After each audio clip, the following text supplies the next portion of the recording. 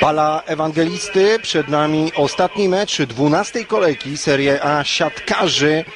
E, Piotr Ganiński, e, witam Państwa, dobry wieczór, bo mamy już godzinę przecież, no już e, poznajemy pierwszą szóstkę drużyny Werony. A więc z numerem czwartym mamy Giuseppe Pessa, z numerem siódmym mamy Emanuele Biraleliego. Tak właśnie przedstawia się drużyna. Jest Zbigniew Bartman od e, początku tego spotkania. E, To bardzo miłe, to bardzo cieszy. Bernardi z numerem e, dziewiątym, z dwunastką, e, z dwunastką e, Gato Ramon i z piętnastką Howard. Zagrywka po stronie Werony, a na zagrywce Branko Pistowicz, Słowak e, właśnie drużyny Marwilan za Weronę. Delikatnie, nie ma problemów z odebraniem tej piłki. Ramon, atak rywali. Atakował Branko Pistowicz. Popatrzmy raz jeszcze. O, kapitalnie wyszedł. Stało teraz Lorenzo Bernardi, 38 lat. Również niezwykłe doświadczenie tego zawodnika z skaczącym w tym e, bloku siatkarzy z Australijczyk. No i 7 do 6, a na zagrywce ponownie Lorenzo Bernardi. Teraz dobry, udany odbiór Giuseppe Sorcinelliego. I proszę, dwupunktowe prowadzenie. I jest, jak na razie, jesteśmy świadkami sporej niespodzianki. Verona prowadzi. Szwiderski 14 punktów, Michał Lasko punktów 12.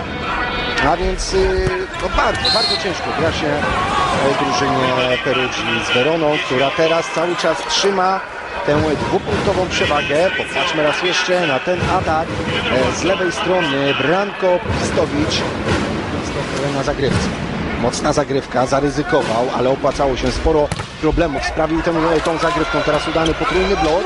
Jeszcze będzie poprawka, jeszcze będzie atak z pierwszej linii.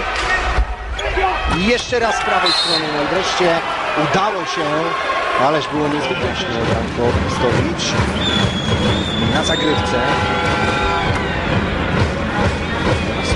Przeszkadzali. Tymczasem trwa wymiana piłek, trwa akcja drużyny Werony, no i teraz tej szóstej strefy. Sprytnie zagrał tę piłkę, jest okazja. No i ta przewaga bardzo szybko drużyny.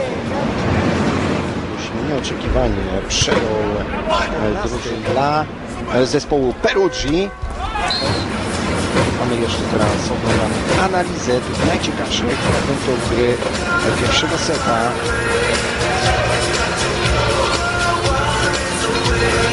Proszę, jak pięknie znalazł się Martin Leb, że Werony rozpoczyna się będzie e, Sebastian Świderski delikatnie.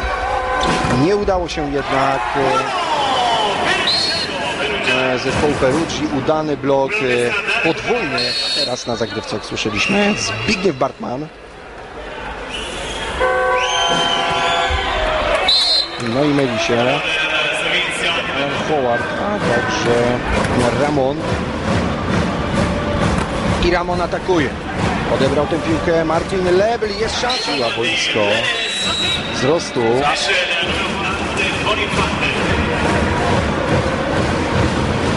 Boisku oglądać teraz y, będziemy Dante Bonifante.